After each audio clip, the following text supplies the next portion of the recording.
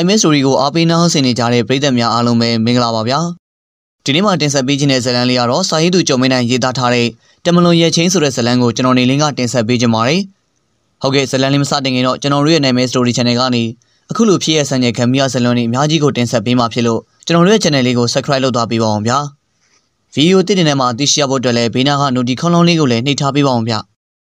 သူတို့နှစ်ယောက်ကချစ်ကြတယ်ဆိုတော့ကလည်းတော်တော်ကိုချစ်ကြပြီးတော့သူတို့နှစ်ယောက်ထဲကတစ်ယောက်ကတော့ စိတ်ထဲမှာကြိတ်မုန်းနေပြီးတော့ချစ်ချင်အောင်စောင့်နေခဲ့တာပါသူတို့နှစ်ယောက်ဆိုတာကတော့ဦးအောင်မင်းနဲ့ခင်လေးသိန်းတို့ပါဘလောက်မြမွန်ဒီလဲဆိုရင်တော့ခင်လေးသိန်းကဦးအောင်မင်းကိုအသေးသက်ပြစ်ချင်လောက်အောင်မွန်ဒီဆက်ဆုပ်နေခဲ့တဲ့အကြောင်းရင်းခံရှိနေခဲ့ပါတယ်ကဲကရှင်တယောက်ကနောက်ဆုံးစီးရင်ရှင်မှုအချိန်စရာပြုလုပ်ထားခဲ့တယ်လို့ဒီအချိန်ချက်ကတော့ကာယကရှင်နှစ်ယောက်စလုံးမသိလဲရတဲ့တမလွန်ကရဲချင်းတစ်ခုလို့ပြောရမယ်ဆိုရင်တော့ပြောလို့ရပါတယ်။မအောင်မင်းကတွေးပြီး သူဤတလောက်လေရက်ဆက်ကြမ်းကြုတ်ပါတယ်။အသက်အရွယ်ငယ်ရွယ်တုန်းကသူ့ကိုလမ်းတရေကစားသမားထောင်ထွက်ကလေးကချေဆိုပြီးအများကတတ်မှတ်ခေါ်ဆိုပြီးတော့သူနဲ့ရွယ်သူမိကောင်းဖခင်သားသမီးတွေကရှောင်ကြအပေါင်းအသင်းမလှုပ်ကြပါဘူး။မအောင်မင်းနဲ့လည်းသူတို့ရဲ့သားသမီးတွေကိုအပေါင်းအသင်းမလုံးမိစေဖို့မိဘတွေကတားမြစ်ထားတတ်ပါတယ်။မောင်မင်းကဘလောက်ဆိုလဲဆိုတော့မြို့ရဲ့မျက်နှာပုံရွှေဆိုင်ပိုင်ရှင်ကိုတော့မနက်မိုင်းရွှေဆိုင်ဖွင့်ဖို့ဈေးကိုအလာမြို့လေကောင်မြို့မဈေးကြီးရှိမှပိုတင်ကြီးရိုက်လူထက်ပါတယ်။ တခြားကဘာကဂျိုသားလိုမျက်နှာဖုံးကိုလည်းစွတ်ထားပြန်ပါတယ်။ရွှေဆိုင်ပိုင်ရှင်ဦးလာမောင်ကရွှေဆိုင်ဖွင့်ဖို့တယောက်တည်းကားမောင်းလာပြီးဈေးရှိရောက်ကားပေါ်မှာရွှေတဲ့ပစ္စည်းတွေထည့်တဲ့အိတ်ကိုဆွဲပြီးတော့အစင်းဆိုရင်တော့တစ်ပင်ကြီးခွဲကနေရက်နေတဲ့မောင်အောင်မင်းကရိုက်ပြီးတော့လူတက်ပါတယ်။မနေ့အစောကြီးဆိုတော့ဈေးရဲ့ရှိမှရဲတွေကလည်းမရောက်သေး။နေ့နေ့ကခက်ဖွဲဖွဲကြနေပြီးတော့ဈေးသူဈေးသားတချို့နဲ့ဈေးဝယ်တချို့ကတော့ရှောင်းနေပါပြီ။ဟာရွှေတဲ့ကိုလာမောင်ကြီးကိုအီဒီကရိုက်လို့နေပါလား။တချို့တွေကတော့အောင်မင်းမှန်မသိကြပါဘူး။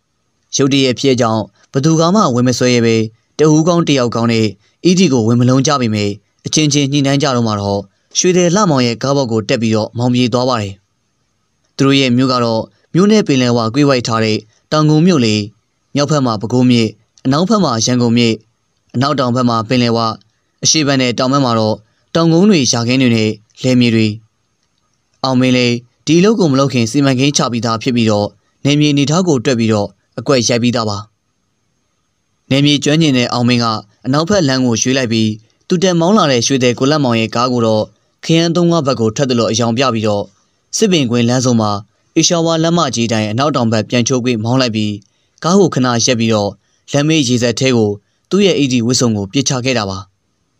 ကားကိုတော့တန်လင်းကြောက်တင်းသွားကားလမ်းမဆုံးမီမှာပဲတောင်ကုန်းတစ်ခုကတော်တန်အတွင်းကိုထိုးဝင်မောင်းလိုက်ပြီးတော့ချုံမုတ်ထဲမှာဖွက်ထားလိုက်ပါတယ် ပြီးမှလူနေအိတ်ကိုပုံစံဖြတ်သေးလိုက်ပြီးအေရှာဝါလမ်းမပေါ်ပြန်တက်ပြီးတော့ကယ်ရီဒီဇီကိုစောင့်ပြီးတော့စီးလိုက်ပါတယ်ဆိုင်ငယ်ကယ်ရီနဲ့အောင်မင်းလေးတန်လင်းကြောက်တန်းလမ်းစုံကိုဖျက်လိုက်ပြီးတော့စမှုတင်တဲ့ကြောင်ဘက်ကနေနောက်ဖက်လမ်းတိုင်းဇာမနီအင်းဆောင်ဘက်ဆင်းလိုက်ပါတယ်ကြောက်တန်းဘက်ကိုချုပ်ကွေးပြီးတော့ရဲလုံနေတက်ရင်ခွင်းရဲ့ရှေ့မှာရက်ခိုင်းလိုက်ပါတယ်ငါကဒီလုံနေကပဲဒီဘက်ကနေလို့ဖြက်လန်းကလာတာလားဟုတ်ကဲ့ဆရာအောင်မင်းကလူလေပါမကောင်းမှုကိုကျူးလို့ရင်ဥပဒေဘက်သားအောင်စောင်းလိုက်ပါတယ် အောင်မင်းကတန်ရတန်ကြီးကယ်ရီကပေးလိုက်ပြီးပထမစီးလာတဲ့ကယ်ရီကိုပြန်လွှတ်လိုက်ပြီးတော့ကားလက်မော်ပြန်တက်ပြီးကယ်ရီတစ်စီးကိုထပ်ပြီးတော့ငှားလိုက်ပြန်တယ်တန်လင်းရည်တဲ့စိတ်ကြီးလမ်းစုံကိုသွားမလို့မင်းရဲ့ကယ်ရီအားလားအားပါတယ်ဒီလိုနဲ့တန်လင်းစိတ်ကြီးရည်တဲ့စကန်လမ်းစုံဘက်ကိုပြန်လာပြီးတော့အလွမ်းဆွရွာလမ်းစုံမှာဆင်းလိုက်ပါတယ်ဒီကနေတီလဝါစိတ်ကန်းအောက်တောင်ဘက်ခြေချင်းဆင်းလိုက်ပြီးတန်ငါလှုပ်ရှားတဲ့ရေလိုသားတယောက်ရဲ့အကူအညီကိုယူလိုက်ပြီးတော့တန်လင်းတစ်ဖက်ကမ်းမှာရှိတဲ့ဒလနေမြေဘက်ကိုကူးလိုက်ပါတယ် ခြေရမကြအောင်တစ်ဖက်ကနေခြေရမခံအောင်တော့ခရီးအစင်းစင်အကွက်ရိုက်ပြီးတော့စီစဉ်ထားခဲ့တာပါကုံမူးနယ်မြေငှက်အောင်ဆန်းမှာတော့အောင်မင်းလူငယ်ဘွားကပြစ်မှုကျူးလွန်တော့ကရောက်ခဲ့ဖို့တဲ့လူငယ်တင်တန်းကျောင်းလို့ခေါ်တဲ့လူငယ်ပြုပြင်ရေးစကန်ရှိပြီးလူငယ်ဘွားကဒီနယ်မြေမှာကျင်လည်ဘူးတဲ့အောင်မင်းဖို့ကတော့ကြမ်းမိသားပါဒီကနေတစဉ်ကြိုက်တော်ဘက်ကိုထွက်လိုက်ပြီးတင်မော်ဆေးလိုက်ပြီးတော့အေယာဝရီတိုင်းဘက်မှာပဲခြေရာဖျောက်ပြလိုက်ပါတယ်အာကအောင်မင်းလူငယ်ပေမဲ့အစိတ်ပြင်းတဲ့အောင်မင်းပါ အောင်မင်းအနေနဲ့ကျောင်းပညာကိုဆယ်တန်းထိအောင်တင်လိုက်ပြီးတက္ကသိုလ်အဆင့်ထိတက်ခဲ့ပူးပါတယ်နိုင်ငံခြားစုံတော်ပြစ်မှုတိုင်းကားတွေအကြည့်များပြီးတော့စာလဲဖတ်ပါတယ်ဒါပေမဲ့မှုခင်းစာပေတွေစုံတော့စာပေတွေဖတ်ပြီးတော့တန်ဝေခယူရမှထက်တလွဲစပင်ကောင်းပြီးသူရရှိတဲ့ဗဟုသုတတွေကိုမဟုတ်မဟန်နေရာမှာတုံးစားပြီးတော့တန်ဖိုးမဲ့ဖြစ်နေခဲ့တာပါသူရဲ့အဖေပီတာဆိုကနိုင်ငံခြားတင်မောတာအစင်းမင်းယာရုခံနဲ့ဖြစ်တာကြောင့်ငယ်စဉ်တုန်းကရွှေပေါ်မြတင်နေခဲ့ဘူးတာပါအဖေနိုင်ငံတကာပင်လယ်ရေပြင်မှာ တင်မောမောက်လို့တိတ်ဆုံးသွားတဲ့အခါမှာတော့အောင်မင်းတို့မိသားစုလည်းအခြေပြတ်သွားခဲ့ပါတယ်။ငကိုကမိဘအချိန်နဲ့တုံပြုံစားတောင်းနေတဲ့အောင်မင်းကကိုကိုကိုမထိန်နိုင်ပေပထမတော့အင်္ဂါပစ္စည်းတွေကိုယူပြီးတော့ရောင်းစားပြီးတုံဖြုံးပါတယ်။ဒီလိုအကျင့်ပြတ်ပေါင်းတဲ့တွေနဲ့ပေါင်းကမကြာခဏရှိုင်းမှုဓာထုံးမှုတွေကျူးလွန်ခဲ့ပါတယ်။အောင်မင်းရဲ့အမှုတွေကတော့ရှိုင်းမှုဓာထုံးမှုမူရည်ရန်ကားမှုတွေများပြီးသူတော်ဘာပစ္စည်းခိုးယူမှုဖောက်ထွင်းမှုနဲ့လူရဲမှုတွေမရှိခဲ့ဘူးတာကြောင့် ရဲတွေကအောင်မင်းရဲ့လူရဲမှုကိုမျက်စိလဲသွားပါတယ်။ရုတ်တရက်ဆိုတော့ရဲဘက်ကလည်းအီတီကိုအောင်မင်းလို့မထင်ခဲ့ပါဘူး။အောင်မင်းကလူရဲမှုနဲ့နာမည်ထွက်ခဲ့သူမဟုတ်ပါဘူး။ဒါပေမဲ့တကယ်လူရဲမှုကျူးလွန်တော့ပညာနဲ့လူစွမ်းလူစားရှိသူတယောက်ဖြစ်တာကြောင့်အုံနောက်ပြေးပြီးတကူတော်လူရဲမှုကြီးတစ်ခုကိုကျူးလွန်သွားခဲ့တာပါ။ရှိုင်းမှုအထွေထွေနဲ့တိုင်ချက်ပွေနေတဲ့အောင်မင်းကပထမဆုံးလူရဲမှုကျူးလွန်လိုက်တော့မြမစေကြီးရှေ့ရွှေဆိုင်ကရွှေနှစ်ပိတ်တာနဲ့ ငွေ350အိတ်ကိုလူယူပြီးတော့အမှုကြီးတစ်ခုကိုစတင်ခဲ့တာပါ။ဒါပေမဲ့ပညာသားပပပြမှုကျူးလွန်သွားတာကြောင့်တန်လင်မြို့မှာတော့ထူးဆန်းတဲ့အမှုကြီးဖြစ်တရင်ကြီးလို့ကြံရိပ်ခဲ့ပါတယ်။အောင်မင်းဖိုးကတော့ပညာသားပပနဲ့အကွက်စင်လူရက်သွားခဲ့ပေမဲ့တကူတော်မယူရဲဆဆန်လှုပ်သွားခြင်းပါ။သူကလည်းအသွင်ကူးဘဝပြောင်းကောင်းခဲ့ပါတယ်။သူ့ရဲ့အမျိုးတွေရှိရကိုဘယ်တော့မှမဝင်ပဲအမျိုးတွေရှိတဲ့မြို့ကိုကွင်းဆောင်ပြီးတော့ဒဇိန်တွေရဲ့ကြားမှာပဲပုံဖြက်ပြီးတော့ပုံရှောင်နေခဲ့တာပါပုံစံကတော့ အယောင်းဝယ်သမားတယောက်လိုနေတဲ့အခါနေပြီးအရွယ်အဖြစ်ငယ်ပဲတာကြောင့်ကြောင်းသားလိုဟန်ဆောင်တဲ့အခါလဲဟန်ဆောင်တတ်ပါတယ်ဒါပေမဲ့လည်းပြည်သူရဲဆိုတာတငယ်နဲ့စားမဟုတ်တော့အရင်မရှိအပွင့်မတင်တဲ့ရဲသားပင်ဖြစ်စေရဲတင်နဲ့တော့တက်ပြီးသားတကိုးလူဆိုရာဇဝဲသားတွေရဲ့ခြေရာကိုတော့ခံတက်ပြီးသားပါပြစ်မှုကျူးလွန်ပြီးတနေ့လောက်ကြာမှာတော့ရခိုင်ပြည်နယ်ကြောက်ဖြူမြို့ပိုင်းဖြစ်တဲ့ကျေးရွာလေးတရွာမှာအောင်မင်းကိုဖမ်းမိသွားပြီးတခြားကဘာကအီတီဂျိုသားကိုတော့မြမမြင်မြင်မှာပဲဖမ်းမိလိုက်တဲ့အဖြစ်ဆန်းပါ ကြောက်ဖြူမျိုးလို့ခေါ်ပြီးမြဲအောင်မင်းကိုတော့ကြောက်ဖြူမျိုးပေါ်မှာဖမ်းဆီးခြင်းမဟုတ်ပဲအတော်လန်းလာတဲ့တွင်းအောင်ရွာကိုသွားပြီးတော့ဖမ်းမိခြင်းပါတွင်းအောင်ရွာကတော့ကြောက်ဖြူမျိုးရဲ့အရှိတောင်ဘက်မှာရှိတဲ့ကျုံးငယ်လေးတစ်ကျုံကရွာပါတွင်းအောင်ရွာလေးရဲ့ခေါင်ပုံကလည်းတကယ်ကိုအောချစရာပါကြောက်ဖြူမျိုးနဲ့အဆက်အသွယ်ရှိတဲ့လူတွေပဲ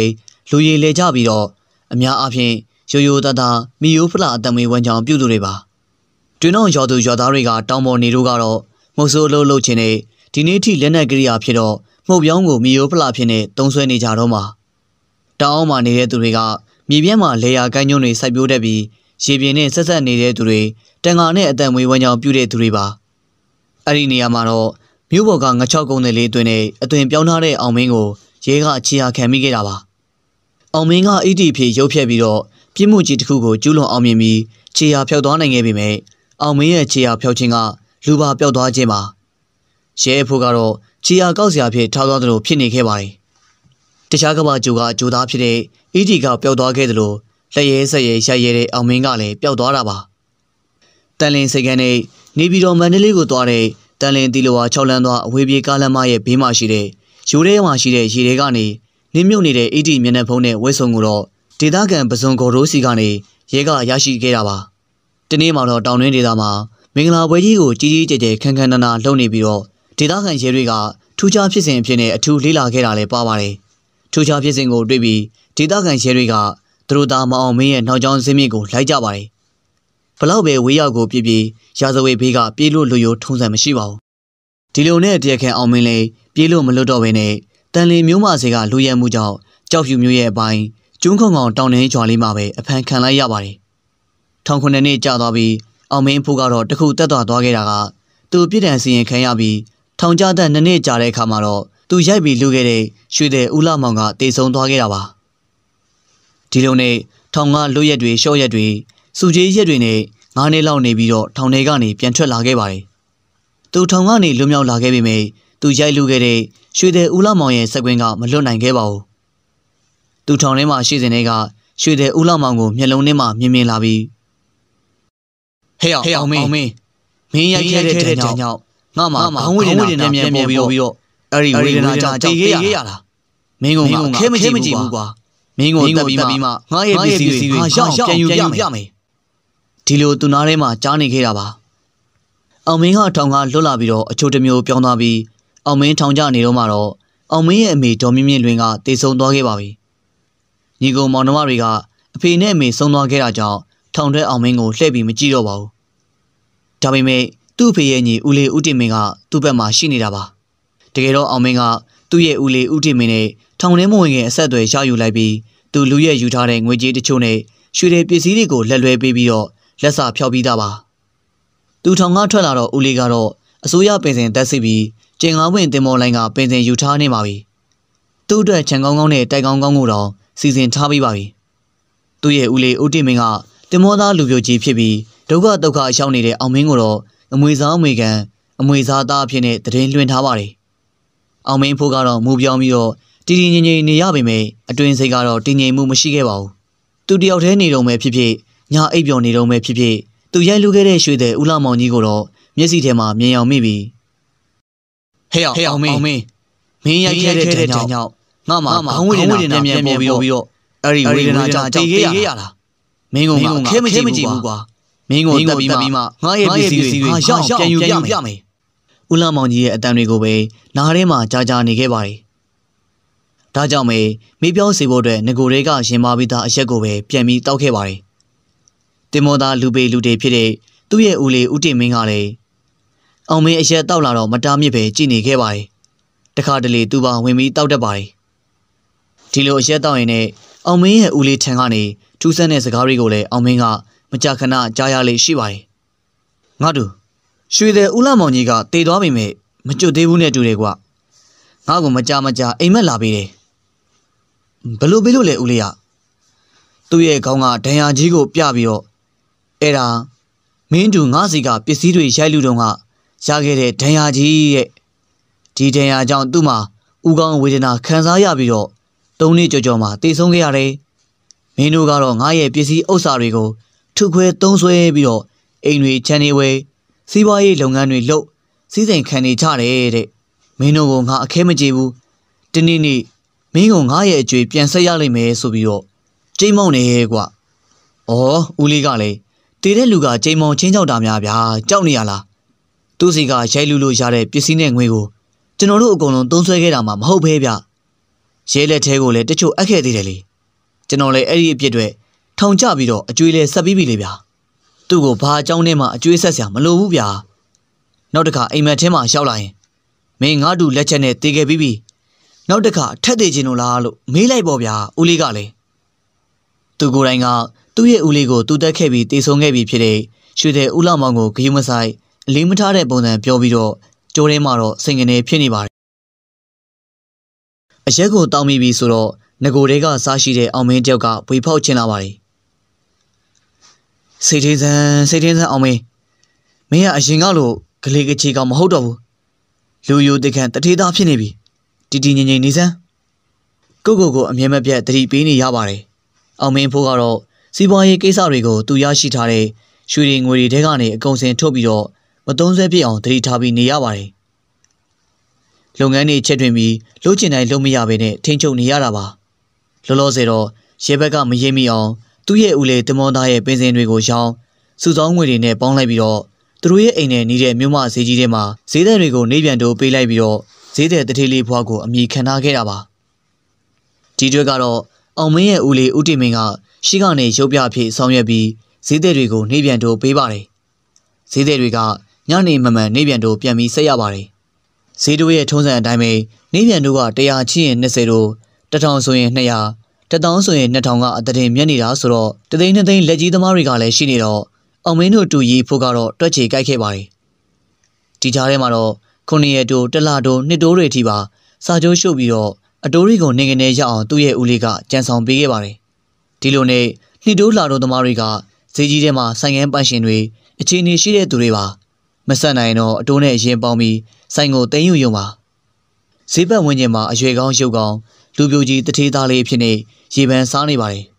လူကလည်းငယ်ရုပ်ကလည်းချောငွေကြီးကြီးကလည်းအဆင်ပြေတော့ဈေးတဲ့မင်းမချောရီရဲ့ဂျာမှာနာမည်ထွက်နေပါတယ်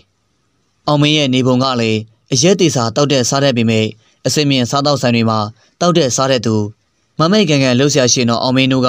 အရွယ်ရလာပြီးတော့ဦးအောင်မင်းခောက်ခံဘဝရောက်နေခဲ့ပေမဲ့လူကြီးလူကောင်အထက်တန်းစားအရက်သမားတွေရဲ့ဂျာမှာမိုက်ပြလိုက်တာပါဒါကြောင့်ဦးအောင်မင်းကအထက်တန်းစားလူမိုက်ဖြစ်နေ နာမည်တစ်မျိုးထွက်နေခဲ့ပါတယ်ကိုအောင်မင်းကိုတော့သွားမဆန်းနဲ့ကွာလူကလူကြီးလူကောင်းပေမဲ့သူများထက်မိုက်တယ်ထောင်ကလည်းထောင်တွဲဆိုတော့လက်ရဲစရဲရှိပြီးသားဗျအောင်မင်းဆိုတဲ့ကောင်ကသူတက်လို့တည်သွားတဲ့ရွှေတဲ့ဦးလမောင်ရဲ့နေရာကိုဝင်ယူလိုက်တာပဲဗျ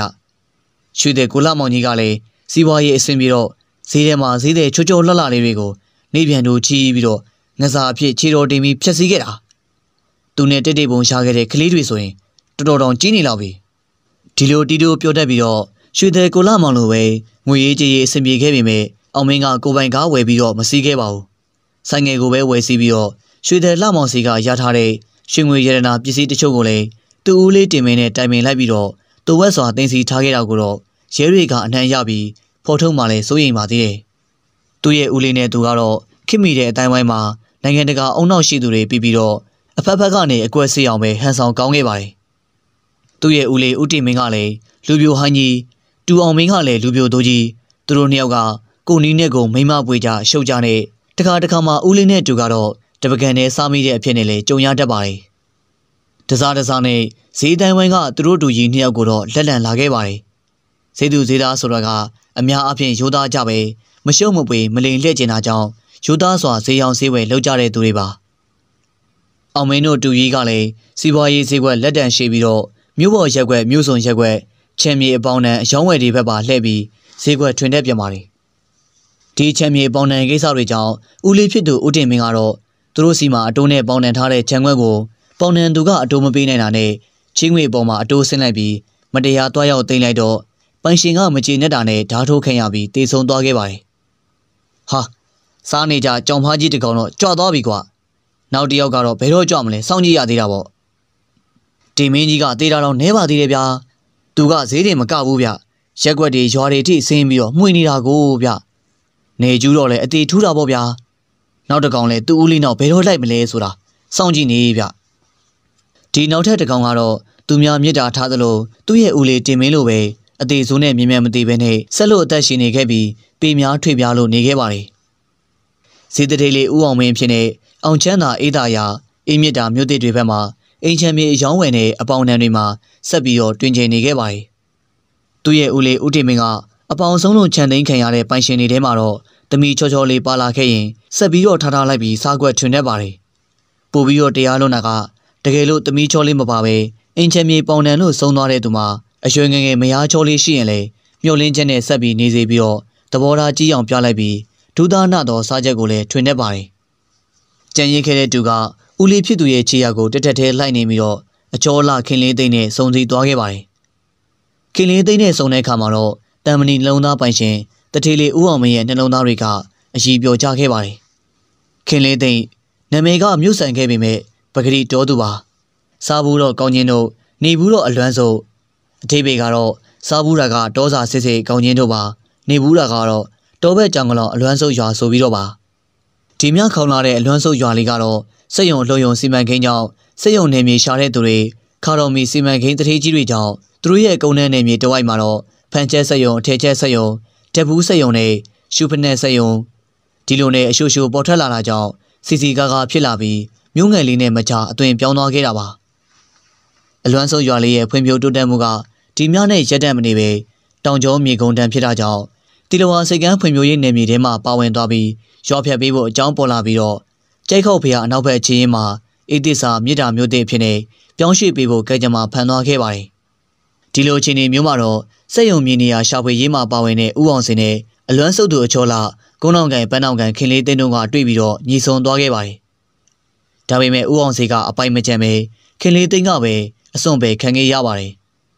ဒူးနဲ့မျက်ရည်တုပ်ပြီးအလွမ်းဆုပ်ရွာမှာကြံရဲသူလေးဖြစ်နေအများကမင်းကိုခံခဲ့ရပါတယ်ဥအောင်စေကမယားကြီးရှိတာကြောင့် ဒီလိုကိစ္စတွေနဲ့နာမည်ပြတ်ရှိသူဖြစ်တာကြောင့်ခင်လေးသိန်းကိုအဝေးကနေပဲလှမ်းပြီးတော့ကြည့်နေခဲ့ပါတယ်အစကတော့အဝေးကနေထောက်ပံ့မှုနဲ့ခင်လေးသိန်းတို့ရဲ့ရွာလေးဖြတ်ပြီးတော့အင်းမြစ်တာမြို့တစ်ကိုပြောင်းရတော့ချန်တဲ့ချန်ဝယ်လိုက်ပြီးအိမ်တလုံးဆောက်ပြီးတော့ခင်လေးသိန်းကမိခင်မိုးဆိုးမကြီးနဲ့အတူပဲမပူမပင်နဲ့မကြောက်မကြနေနိုင်ခဲ့ပါတယ်ခင်လေးသိန်းရဲ့အမေကအရွယ်ကောင်းစဉ်တုန်းကတန်လင်မြို့မဈေးကြီးမှာဈေးရောင်းခဲ့ပူးပါတယ်အခုတော့စီးပွားရေးကြပြီးခင်လေးသိန်းတို့လည်းညှို့ညှို့ငယ်ငယ်နဲ့နေရအချိန်မှာတော့ ဦးအောင်စိန်နဲ့ဆုံခဲ့ရတာပါနောက်တော့လည်းအဆင့်ကွာတာကြောင့်အလံဝေးတဲ့ဦးအောင်စိန်နဲ့အဆက်အသွယ်ပြက်ပြီးတန်လင်မြို့မဈေးကြီးကိုတွားပြီးတော့အထည်ဆိုင်ရောင်းရင်းကနေဈေးသက်ထေးလေးအောင်မင်းနဲ့စုံစည်းလာခဲ့တာပါဒီချိန်မှာတော့ခင်လေးသိန်းရဲ့မိုးဆိုးမမိခင်ကြီးကကွယ်လွန်သွားခဲ့ပါပြီဖျံအောင်မင်းကတော့အချောလအတောင်ဖြောင်မင်းကလေးကိုမှမျက်စိကြားတတ်ပြီးမမတ်မော်မော်လေးရှိတဲ့ပြီးတော့မင်းကလေးတွေဘက်ကလည်းဈေးသက်ထေးလေးဖျံအောင်မင်းကိုတော့အမိအယဖမ်းကျင်ကြပါတယ်ဒါပေမဲ့အောင်မင်းကတော့ ဘယ်တော့ခါမှမိန်းမတစ်ယောက်ကိုအတီတကျပေါင်းသင်းဖို့အတွက်စိတ်ကူးတဲ့ကိုထည့်တဲ့သူမဟုတ်ပါဘူးဒီလိုနဲ့တွေ့ရမဲတဲ့ချောလာတောသူတစ်ဖြစ်လေခင်လေးသိန်းနဲ့စားနေကြဈေးသက်ထီလေးဖျက်အောင်မင်းတို့ကအဆက်အသွယ်ရောက်သွားခဲ့ပါတယ်ခင်လေးသိန်းကဇရက်တောင်ပန်ကျိုးဖျက်အောင်မင်းကအကြောင်မဖြစ်တာကြောင့်ပွဲကပွဲကြီးပွဲကောင်းပါခင်လေးသိန်းကအမေရဲ့အာသူဘကိစ္စနဲ့ငွေလိုနေတဲ့အချိန်မှာတော့ဈေးသက်ထီလေးအောင်မင်းစီမှာအိမ်နဲ့ခြံကိုငွေတိုးနဲ့ပေါင်လိုက်ပါတယ် နောက်တော့အတိုးရင်မဆက်နိုင်တော့ပဲအိမ်နဲ့ခြံကိုအဆုံးခံခဲ့ပြီးတော့လူပါအရှုံးခံခဲ့တဲ့ဂိမ်းစိုက်သွားခဲ့ပါတယ်။ခင်လင်းသိန်းရဲ့အပြုတ်မှုအယူရတွေရဲ့ကြားမှာတော့အောင်မင်းတယောက်ကတခြားမိန်းကလေးတွေနဲ့ကြုံတွေ့ခဲ့ရတော့ငါထက်ပိုပြီးတာယာဆွဲလန်းပြီးတော့ကြည်နူးမိသွားပါတယ်။ဒါကြောင့်ပဲခင်လင်းသိန်းရှိတဲ့အိမ်မြစ်တာရက်ွက်လေးမှာရှိတဲ့သူပိုင်ထားတဲ့အိမ်လေးကိုတော့ညတိုင်းလို့လိုပဲအောင်မင်းကဆိုင်ငယ်လေးနဲ့ရှောင်းနေတတ်ပါတယ်။ခင်လေးသိန်းရဲ့အိမ်မှာအိပ်ပြီးမနဲ့မိုးလင်းတာနဲ့မြို့ထဲကိုပြန်သွားတတ်ပါတယ်။ ခင်လေးသိန်းကလည်းသူရောက်လာနေကြမောင်ရင်ဖြိုးပြရောက်တာနဲ့အင်းမြစ်တာရက်ွက်တလေးရဲ့အနောက်ဘက်ကားလန်တန်တရာထိတ်ကနေသူ့ကိုထွက်ပြီးတော့ကြုံနေတတ်ပါတယ်။ကြာလာတော့အောင်မင်းကခင်လေးသိန်းကိုအစွဲလန်းကြီးဆွဲလန်းလာပြီးလက်ထက်ခြင်းတဲ့စိတ်တွေဝင်လာခဲ့ပါတယ်။သူ့ရဲ့မိတ်ဆွေလူရင်းနေနဲ့တောက်ပေါ်တောက်ဖက်တွေရဲ့ရှေ့မှာတော့တိုင်ပင်ကြည့်လိုက်တော့ဒီကောင်မလေးကမင်းမလဲကွာမင်းကိုတမင်အမိဖမ်းတာမင်းအတီလက်မထက်သိမ့်ဘူးကွာသူတို့တွေကဘလို့ပဲတာစီတာစီ ခင်လေးသိန်းထဲမှာအစွဲလန်းကြီးသွားတဲ့အောင်မင်းကတော့ခင်လေးသိန်းကိုတရားဝင်ပဲလက်မှတ်ထိုးပြီးတော့ယူလိုက်ပါတယ်ခင်လေးသိန်းကိုတရားဝင်မရဖြစ်ယူလိုက်ခြင်းကအောင်မင်းဘက်ကကြည့်ရင်လည်းအရှုံးမရှိခင်လေးသိန်းဘက်ကလည်းအရှုံးမရှိပါဘူးခင်လေးသိန်းဘက်ကရုပ်ရည်ချုံမော်ပြီးငရွယ်နှုတ်ပြပြီးတော့အောင်မင်းဘက်ကတော့ရွှေတဲ့ကိုလမောင်ကြီးကိုအီးတီတွင်ဆောင်ပြီးရုပ်ဖြက်ရိုက်လူခဲ့ပြီးတော့မတရားရထားတဲ့ရွှေငွေတွေကြောင့်တိုဝါချမ်းသာနေပြီးဇေတတီလေးဖြစ်နေခဲ့တာပါအရွယ်အဖြစ်တော့အောင်မင်းက40အရွယ် ခင်လေးသိန်းကအသက်20အရွယ်အသက်ခေါက်ချိုကွာခဲ့ပါတယ်။ဖျံအောင်မင်းနဲ့ခင်လေးသိန်းတို့ကတရားဝင်လက်ထပ်ပြီးတပတ်လောက်အကြာမှာတော့ခင်လေးသိန်းရဲ့အိမ်မှာညအိပ်ပြီးမနဲ့ဝေလီဝေလင်းအပြန်မှာတော့တန်တရာဘော်ကဖြတ်မှာပဲဆိုင်ငယ်မှောက်ပြီးတော့ချောင်းထဲကိုကြပြီးရင်းနေတေဆုံသွားခဲ့ပါတယ်။ပို့ပြီးတော့ထူခြားခဲ့တာကသူတရားဝင်လက်ထပ်ယူလိုက်တဲ့ခင်လေးသိန်းကသူရိုက်လူခဲ့တဲ့ရွှေတဲ့ဦးလမောင်ရဲ့တစ်ချိန်တုန်းကအငယ်အနောင်းအဆွဲပွားတရားမှုဝင်ဇနီးတွေက ခင်လေးသိန်းရဲ့အမေကရွှေတဲ့ဦးလမောင်ရဲ့တိတ်တိတ်ပုံဇနီးဖြစ်ပြီးတော့ခင်လေးသိန်းကတော့ရွှေတဲ့ဦးလမောင်ရဲ့သမီးရင်းချပါတကယ်လို့သာတမလွန်ဘောကရှိသေးမယ်ဆိုရင်တော့ဇေသထေလေးအောင်မင်းကအမှတ်မထင်ပဲဖြစ်ဖြစ်အမှတ်ထင်ပဲဖြစ်ဖြစ်သူကြားမြင်ခဲ့ရတဲ့ရွှေတဲ့ဦးလမောင်ရဲ့စကားတွေကိုအခုလိုပဲပြန်ပြီးတော့ကြားနေအောင်ပါပါဟဲ့အောင်မင်းမင်းရိုက်ခဲ့တဲ့တန်ကြောင့်ငါမှခေါင်းဝေဒနာပြန်ပြန်ပေါ်ပြီးတော့အဲ့ဒီဝေဒနာကြောင့်တည်ခဲ့ရလားမင်းကငါခဲမကြည့်ဘူးကွာ မင်းကိုတက်ပြီးမှငါရဲ့ပစ္စည်းတွေငါရောက်ပြန်ယူပြမယ်ဟုတ်ကဲ့ပါဗျာဒီနေ့မှတင်ဆက်ပေးခဲ့တာတော့စာရေးသူကြုံမင်းနိုင်ရေးသားထားတဲ့တမလွန်ရဲ့ချင်းဆိုတဲ့ဇာတ်လမ်းကိုတင်ဆက်ပေးခဲ့တာပါ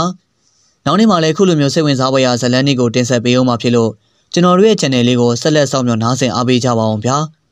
ပရိသတ်များအားလုံးပဲစိတ်ချမ်းသာခြင်းကိုယ်ဤကြမှာခြင်းနဲ့ပြည့်စုံပြီးတော့စီပွားလက်လာပါများတည်ရည်လာတိုးတက်ကြပါစေဗျာ။